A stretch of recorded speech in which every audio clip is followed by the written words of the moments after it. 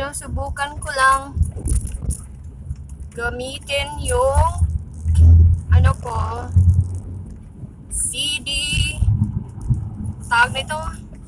CD car mount. So meron ako magandang holder sa phone ko para pwede ako mag-vlog kahit nagda-drive ako safe naman guys kasi hindi naman masyadong mabilis yung patakbo dito tsaka hindi na masyadong traffic sa lugar namin. Kasi bukid to eh Pennsylvania hindi talaga ako nakatira sa ano mismong malaking city. Maliit lang yung city namin eh.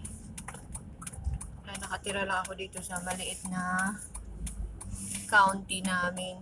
So hintayin natin tong babaeng to Iingat pa rin ako kahit nagba-vlog. Hindi naman ako nakatingin sa sa monitor. Tinitingnan ko yung kalsada.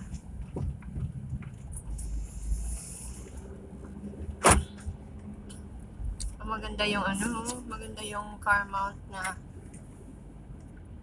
nabili ko pero sana sana hindi siya mahulog kasi ano siya eh, yung yung dinid, dinidikit-dikit siya. Sabi ng kaibigan ko si ano, Black Asian kagabi, meron na daw siyang ganito pero hindi daw siya nag-work kasi mahuhulog siya. Mawawala yung dikit pag nagtagal. So, tingnan natin. Gusto ko kasi nakapatong siya sa taas sa sa windshield ko. Kitang-kita yung kalsada.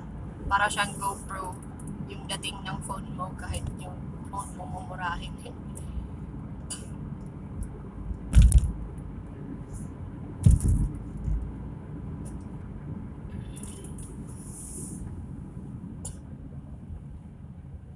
Stop sign. Na-cut off ako sa, sa, ano, sa red light.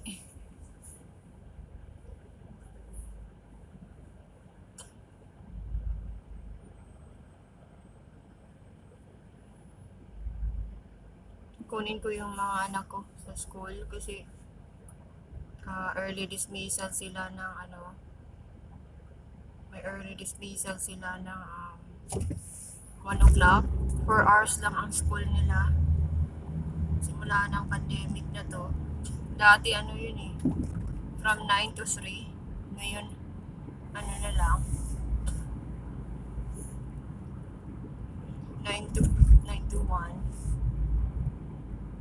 kaya, yun. Medyo okay naman. Mas maganda nga kasi nasa bahay sila palagi. Marami silang magagawa sa bahay. Mas na-enjoy daw nila ngayon eh. Sana daw hindi na lang matapos kasi gusto nila yung short hours ng school lang.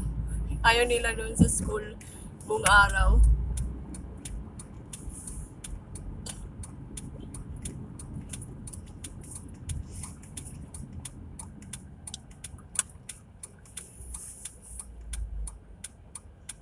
Ayan, pag stop, pag red light talaga. Tapos, merong mga red light na pwede kang mag-turn right. Pero, itong red light na to, no turn on red. So, wag kang mag-turn on right sa may sign na no turn on red kasi bawal yan. Tsaka hindi safe yan. Kung nakita ka ng pulis, tikitan ka, good luck. Or, baka, maka ano ka, maka tag nito, makabangga ka or mabangga ka. Kasi mayroong ano, may may ibang traffic na makasalubong mo. Kaya basa-basa din pag lalo pag nagda-drive ka, magbasa-basa ka sa mga road sign. Importante pa rin yung common sense. Common sense at saka dapat defensive driver ka maraming mga driver dito na ano, aggressive. Aggressive sila. Lalo na pag mamadali, ay naku, walang paki. aggressive sila. Gusto, mas gusto ko pa yung mga matatanda mag nagda-drive kasi sobrang ingat na ingat. Ano talaga sila yung may iba pa nga eh, under the speed limit. At least, di ba? At nag-iingat. Walang mababanggang ibang tao. Ayun, no, turn on red. Itong lalaking to, oh, itong jeep na sa kaliwa ko, nag, nagto-turn right. Turn right ba siya? Ah, oh, tama, tama pala. Ayun, merong arrow na pa left. So, magle-left din ako. Minsan may green dyan na hindi yung walang arrow na pa-turn left. So, wag ka munang mag-turn. Hintayin mo na mag-clear yung oncoming traffic mo bago ka mag-left. Kasi ilang beses na rin ako nakaranas niyan. Muntik na akong mabangga eh. Ma- Mabangga ng ano, oncoming traffic. Tanga-tanga pa ako nun eh. Ewan ko ba, malay ko ba. Hindi ako nagde-drive dati eh dito lang ako natuto. So, you will learn by experience, guys. Sa dami-dami kong experience na kamuntikan ng maaksidente pero sa awa ng Diyos. Lord, thank you so much talaga. Since 2008 pa ako nagda-drive, never pa talaga akong nagka-aksidente. Speeding ticket lang. May speeding ticket ako. Oh my God. Six years ago yata. Sabi na, Police, Ma'am, ma'am, you go 50 on 35 miles per hour. Don't you know that? Sabi ko, I am in a hurry, officer. I'm very sorry. It's my second week of my new job and I don't want to be late. So sabi naman ng officer, Oh, I see. Then you're gonna be late even more. because I stopped you. And you're gonna have a big ticket, miss. Said, oh, it's okay, officer. It's my fault and I admit it. Yun. Wala naman siya sinabi. Basta aminin mo lang. Hindi naman ako tumanggi kasi talaga nag-overspeed talaga ako. Kasi akala ko wala siya sa likod ko. Nandiyan pala. Nag-speed trap pala siya. Ako lang pala binabantayan niya sinusundan na pala talaga niya ako. O ayan, natatanggal na yung ano. Ay, natatanggal yung dikit. Totoo pala talaga yung sinasabi ni Black Asian. Hindi pala talaga tumaganda. Ba yan? Natatanggal siya, oh. Minutes pa nga lang nakadikit sa ano ko sa harapan ng windshield ko. Susuli ko to sa Amazon. I need my money back. Yo. Need my money back. Ang ganda ng trees, oh. Ang ganda ng kulay. Trees, tree pala. Isa lang. Dito ako magpa-park sa malapit. Kasi para hindi na maglalakad yung mga estudyante ko. Kasi mabigat yung backpack ng isa. So, papark ko lang siya dito parking lot.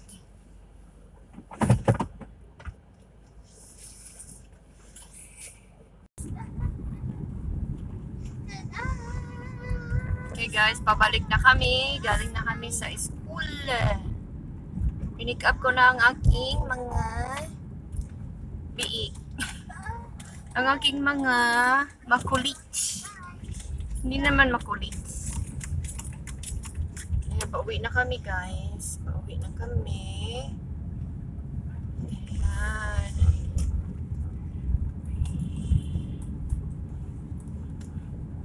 Can you guys sing? Is there any song you can sing? Pauwi na naman kami. Pauwi na naman kami. Ganito ang aming buhay. Lagi na ganito. Ito na lang, ito talaga ang aming, ang aming buhay guys. Everyday daily routine na talaga to. Pag wala ko'y trabaho, walang trabaho, Ito yung trabaho ko. Kukunin ko sila sa school. Tapos nag-YouTube din minsan. Hala, nakita yung ano niya. Yung driver's license plate niya. Ka-video ko. Huwag, huwag nyo na lang pansinin guys ha. Hindi yan kasali. Hindi siya sponsor. Kidding. Yan, dito na naman kami. Pabalik. Pabalik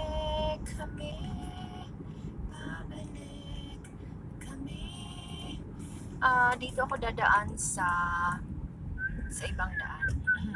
Hindi na ako dadaan dun sa may traffic sa baba kasi ah, masyadong ano, dikitan yung traffic doon. Grabe yung traffic doon. Dito na lang ako sa kanila dadaan. Hindi na ako padadaan. Ay, naku. Kasi medyo malayo din doon. Maraming traffic light madadaan ko. Pero pag dito shortcut siya, walang, walang ano, walang traffic na. Isa lang, sa may bandang high school.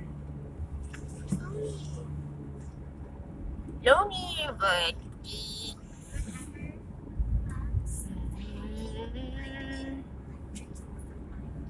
Maganda kasi meron na akong pang vlog na ano car mount. If it like literally touches them, it's Dik- Idikit ko yun ng mabuti. Lagyan ko yun ng epoxy.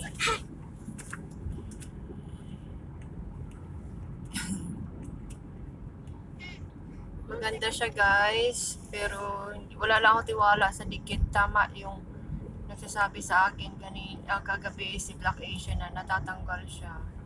Pero alam mo kung ano gagawin ko nito? Lagyan ko to ng super glue. Para magdikit talaga sa sasakyan ko para hindi na siya matatanggal. Ang ganda ng kulay ng mga kahoy, guys, oh. Nag-change na siya ng kulay. Ibig sabihin malamig na dito sa amin. Malulungkot na naman ako. Malulungkot talaga ako pag taglamig kasi hindi ko yun hindi ko yun weather eh. Hindi ko yun hindi ko yun life, day. Pero okay lang. At least merong changes. Hindi katulad sa atin, sa Pilipinas na puro init na lang, no? Kahit umuulan, mainit pa rin. Dito, merong taglamig, may tag-init. Merong super lamig. yung super snow na talaga. Yung negative degrees meron din. Yung mamamatay ka na talaga sa mamamatay ka na sa labas. Kung gusto mong magpapakamatay, doon ka na lang sa labas sa negative degrees. Mamamatay ka in minutes. Oo, madali lang mag ano magpakamatay. Iwanan mo na lang iwanan mo lang yung sarili mo doon ng ano, mga 30 minutes sa ano, negative 6 degrees. Tigo ka na. oh my god. Siguro sakit nun, no? Magiging ano ka, ice. Para kang yung ano, Elsa Anna. Ayun, yung, yung kasada namin dito ay pababa, paakyat. So, wala talaga makikita kasada na straight, tsaka flat lang. Hindi ka naaakyat. Ito talaga, pababa, paakyat, pababa, paakyat. Kaya ano siya eh, yun tawag nito, malakas sa brake. Kanang every two years talaga, nagpapalit ako ng brake kasi nag-worn out talaga siya. Mommy, remember when I talked about hack? Yeah.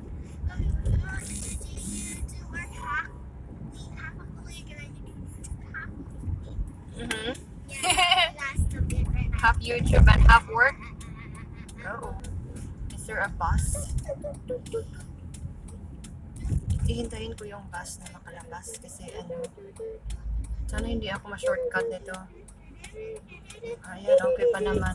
Yan, dapat marunong ka rin, ano, may common sense ka rin na yung ano, yung tamang distance ng mga sasakyan kung hindi ka ba matatamaan. Hindi mo ba sila matatamaan o hindi ka matatamaan. Talagang ano lang siya, patient. Driving is patience. Tapos, common sense talaga. Kasi pag ano, delikado talaga guys. Kaya kailangan mag-ingat, super ingat. As in, 100 times ingat. Kasi ang buhay mo ay nakasalalay. Pag nagda-drive ka, konting pagkakamali lang. Hay, nako. Good luck. Kaya uuwi na kami. Ito oh, pababa na naman oh. Ayan, pababa na naman kami. Kasi hindi siya flat eh, yung kalsada. Ano siya? Pababa, pataas. Parang spaghetti pababa. Pababa at pataas.